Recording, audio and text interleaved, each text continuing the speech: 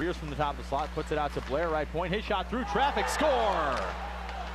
Gets it back toward the circle for Nick DeVolio. DeVolio will skate through the circle, take a shot, score! Nick DeVolio rips it through the five hole. And with 35.8 to go in the first, we've got ourselves a tie game 1-1. As Peoria got the power play going last night and does it again this evening. Set it to DeVolio, had all kinds of room to just walk through the right circle. And from the dot, DeVolio let go of the quick wrister, beat Zenzola's five hole. And with 35.8 remaining here in the first period, we're all tied. It's 1-1. Well out of this crease to play it above the hash marks was Davenport. It's back through score. As back to Widehour right point.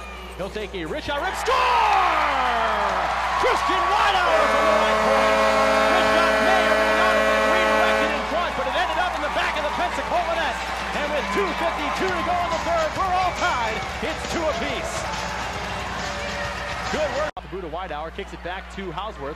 Hauswirth will walk down the goal line, back to a score!